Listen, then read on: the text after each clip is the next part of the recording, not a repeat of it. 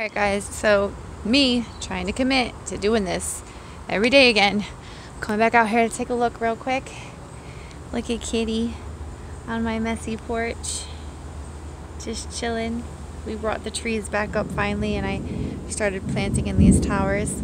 You hear that thunder? Yeah, we're about to get it. Alright, so that's why I'm out here trying to talk fast and see what we could do. Alright, so my um, burgundy beans, I mean, there's still quite a few on here. They're just not getting that big. I am almost done and ready to pull them out. I wish I could get, um, I mean, I have plenty of time. So I just want to take them out and start some new ones and see, you know. I love eating them for breakfast. I know that sounds weird, but I fry them with my egg. Um, I eat one egg for breakfast every morning. So I fry it on the side while I'm making my egg, and it just, it's like more than enough. All right, some dragon tongue beans over here. Um, starting to form. You could see them right here. Um, still very small. All right, so I have this area. So let's see. Oh, look, I have a full green bean. These are almost done.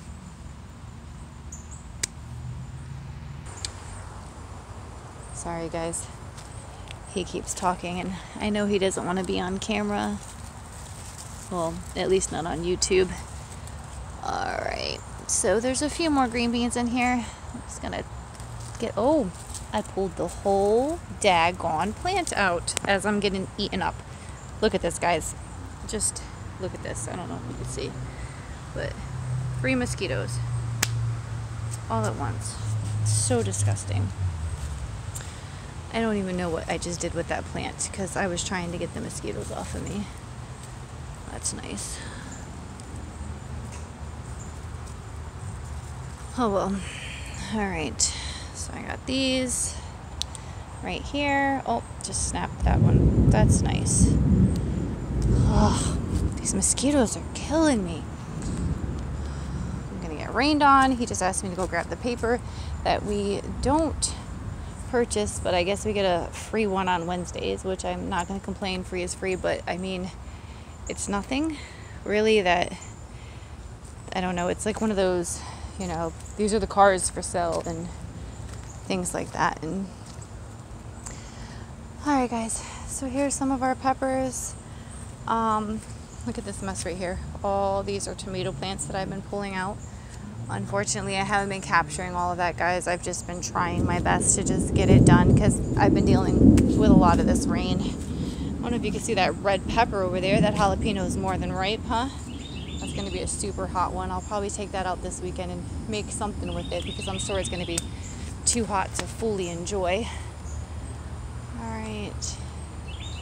All these green tomatoes right here and none of them even feel relatively close to eating.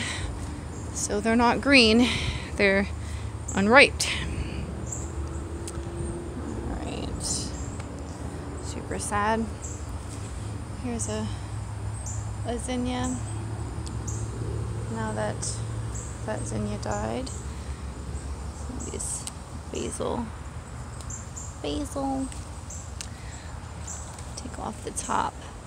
Should probably make some pesto. I was talking to one of my friends earlier today and she was talking about how she makes the pesto and freezes it to have for the rest of the year. I need to do that because I have so much basil and I'd hate to see it go to waste. Um, but I just really, other than eating it fresh, haven't done much with it. Oh, I'm feeling the sprinkles. Alright, guys.